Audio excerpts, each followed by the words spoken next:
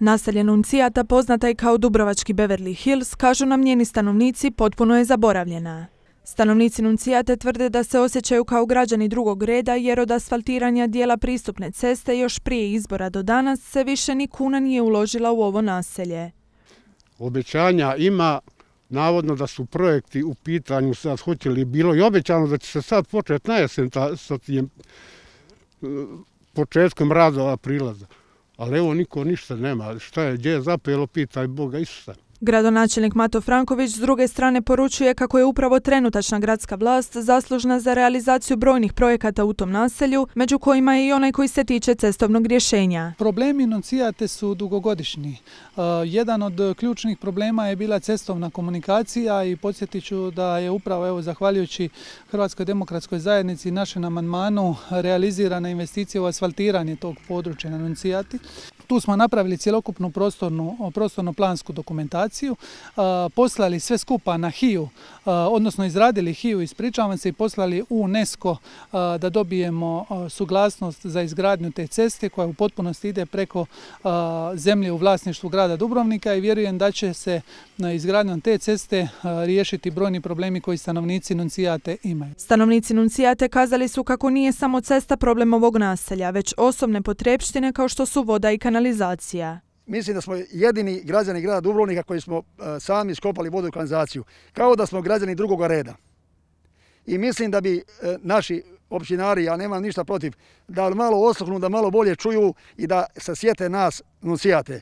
Nuncijata je bila prva crta obrane. To su bunkeri, tu, tu da nije bilo Nuncijate ne bi bilo danas njih u općini. I da nijesmo sami mi radili, kao što je rekao gospodin Stijepo, vodu i kanalizaciju ne bismo je sigurno imali dan danas.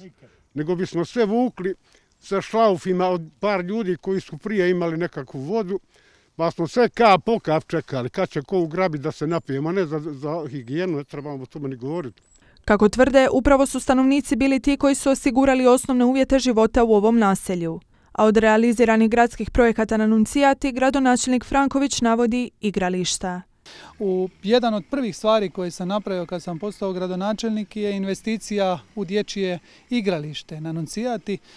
Nakon toga napravili smo, odnosno renovirali u potpunosti postojeće nogometno igralište na Nuncijati, te smo nakon toga na zahtjev udruge mladih na Nuncijati postavili i jedan objekt kojim se onda ljudi sada mogu e, služiti. Tvrde stanovnici ovog naselja da su njihovi zahtjevi skromni kako za njih nisu potrebna velika i skupa ulaganja. Kažu nam kako se ulagalo u sve ostale dijelove grada osim u Nuncijatu pa se pitaju čime su to zaslužili.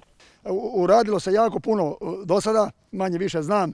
Babin Kuk, e, dosvijeni put, igralište za djecu, tri zgrade ovdje u Čokolinu, put prema Osojniku, tri, tri, tri ovaj, e, e, zgrada, u 70 stanova u Mokorci, tri parkinga, anonsijati ništa. Gradonačelnik poručuje kako planirani projekti u ovom naselju nisu zaustavljeni, samo do njihove realizacije treba strpljenja. Nikoga nismo zaboravili i nikoga nećemo zaboraviti. Samo neki projekti se realiziraju brže zato što je prostorno-planska dokumentacija jednostavnija, a neki su kompliciraniji zato što je prostorno-planska dokumentacija u tim slučajevima zahtjevnija. Ulaganje u ostale dijelove grada smatraju stanovnici Nuncijate interesi su pojedinaca dok se malog običnog čovjeka lako zaboravlja. Pitaju se tako kada će napokon i njihovo naselje doći na red.